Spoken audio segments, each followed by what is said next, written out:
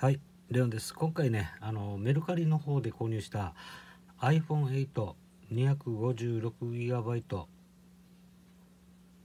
シルバーの開封商品紹介やっていきたいと思います。今回もぴょことまゆの参加ですね。あの先日ああの動画撮った同じくメルカリで購入したね iPhone8256GB ゴールドあれねあの画面にもちょっと傷があって背面にも傷があったからもう返品させたんですよ。取引キャンセルして。いや結構手間かかったんだけどね。これ今日届きましたね。今撮ってる日時がね1月19日木曜日時刻が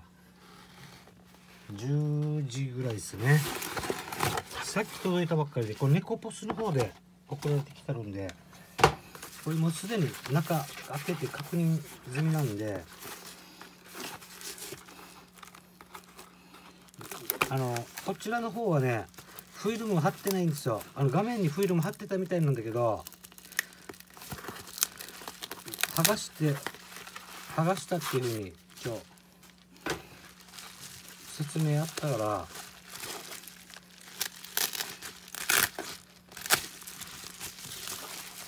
手帳カバーサービスで付けてくれてたんで発送中のガードも兼ねてこうやってプチプチに進んでこれビニールに入ってたけど結構きつかったからもう入れなかったんですよ今。これ手帳カバーですね。結構いいやつが。でちょっとあのこれメガネ拭き俺今挟んでるのなんだけど挟んでる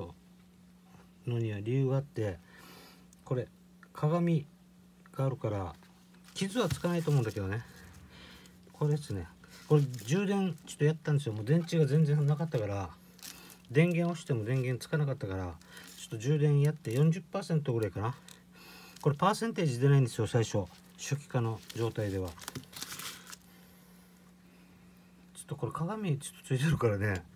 俺の顔映っちゃうからさ。ちょっとこれ。のいつものようにねあの今撮ってる iPhone8 のデータをこの新しいこの iPhone8256GB の方に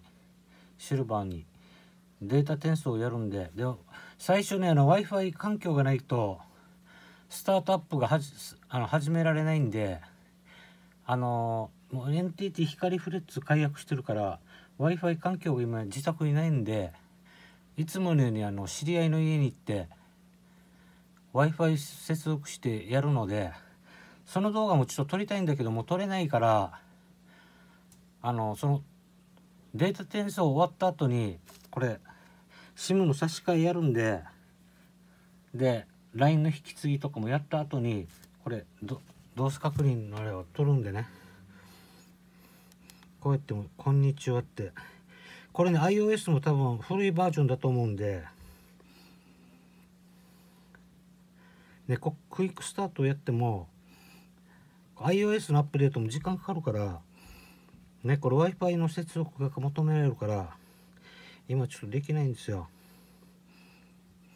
画面もめっちゃ綺麗でねあれでは見えないと思うんだけど動画では。これシルバーですね。背面もめっちゃ綺麗でこのフレームも傷が全くないって最初から出品時から購入前から確認済みなんでとってもいいんでね。これちょ手帳に入れとくんではいこんなもんで。はい。これね1万最初ね1万9000円ぐらいで出品されてたんだけど1万7000円で値引きしてくれないかなっていうことで値引き交渉したんだけどちょっとそれはできないって言われてじゃあ1万7500円ではどうですかって言ってあそれならいいですよっていうことでほんと1万8000円ぐらいだったんですよ。値引きできてもこの出品者はね。だけど俺が粘って1万7500円でこの手帳カバーもサービスしてください。そしたらすぐに買いますっていうことで即決で買ったんだけどはい今回ねメルカリの方で購入したあの iPhone8-256GB シルバーのね開封商品紹介やってみました。あとよろしければチャンネル登録の方もぜひともよろしくお願いします。はいご視聴ありがとうございました。バイバイ。バイバイ。また引き続き動画の方を撮るからはいもうちょっとアップしようか。はい失礼します。